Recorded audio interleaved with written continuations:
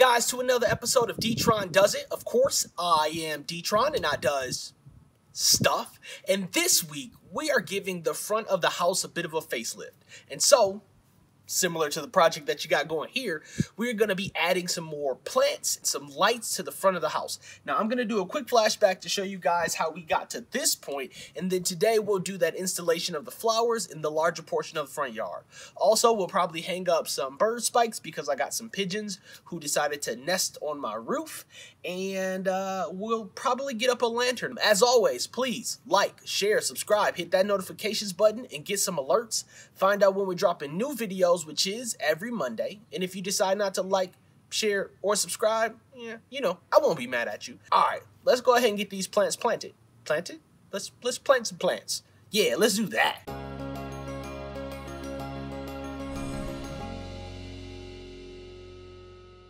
All right, so look, we have been homeowners for a little over a year now, and after the Texas storm came through, it really decimated our already beat up plants. So this is what the plant section looks like that we're going to focus on today.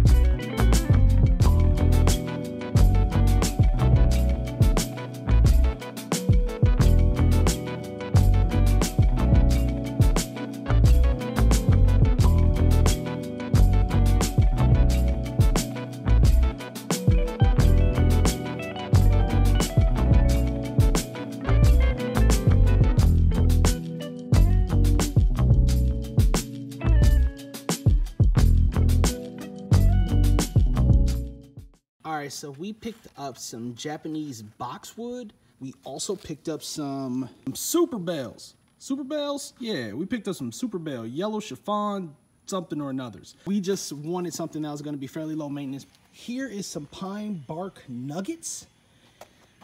See if you can see, well, you'll be able to see the color here shortly, but it's a reddish color and we wanted to use that instead of the mulch that we already had down, give the front of the house a different look.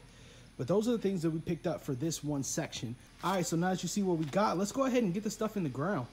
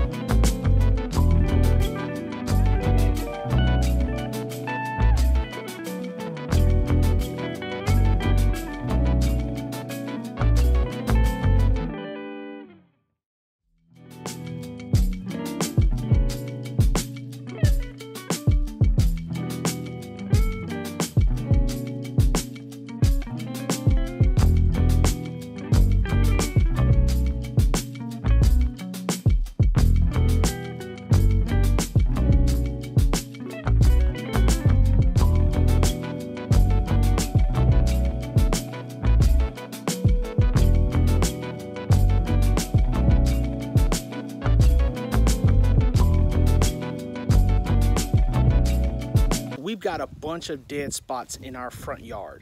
My plan is to rake up the dead spots, pull any of the weeds that are there, put some topsoil down and water it, see if we can get our grass green again. I'll show you guys what it looks like in just a moment.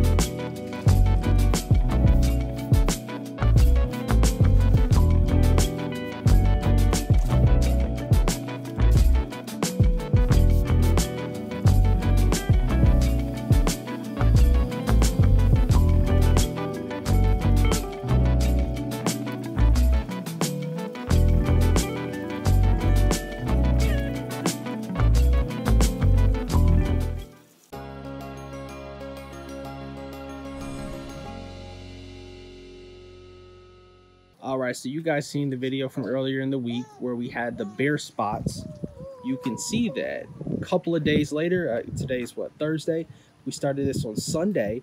You can see that there is already some grass beginning to grow in the area that was dead. This is the area that we are going to tackle today. Let's get started with that.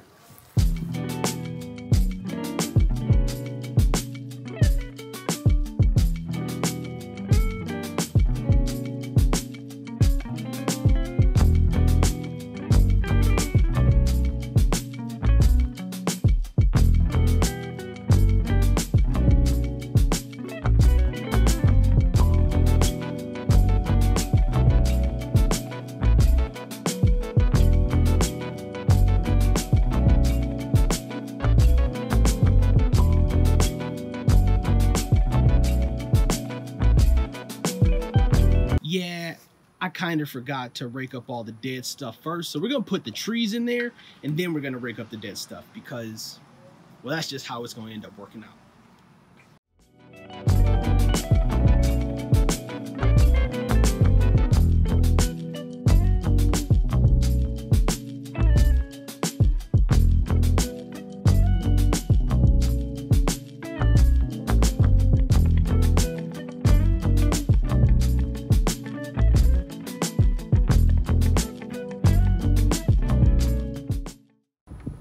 Had my wife go and place the super bales where she wanted them in the yard, and then I just went and popped them in the ground. I mean, it was pretty simple.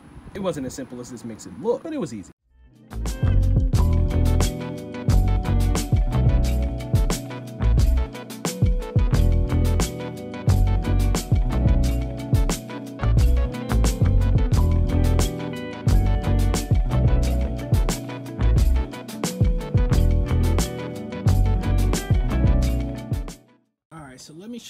Guys what I did with these bird spikes. So I was able to attach two screws to each one of them. And then I got this one kind of poking out. That way they don't get any fresh ideas about trying to land and walk up. We'll see if it works. I feel like I may need to put one in the very back back there in case they can fly over top of these. Maybe even right there. We'll see how this works and then we'll revisit the topic if uh, if we find that it is not adequate.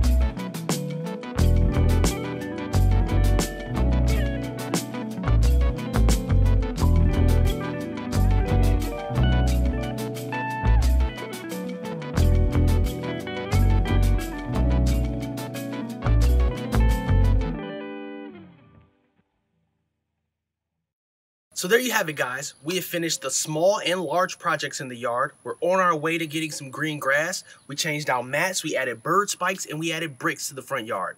Uh, I think it looks really good, and it really gave us a different curb appeal.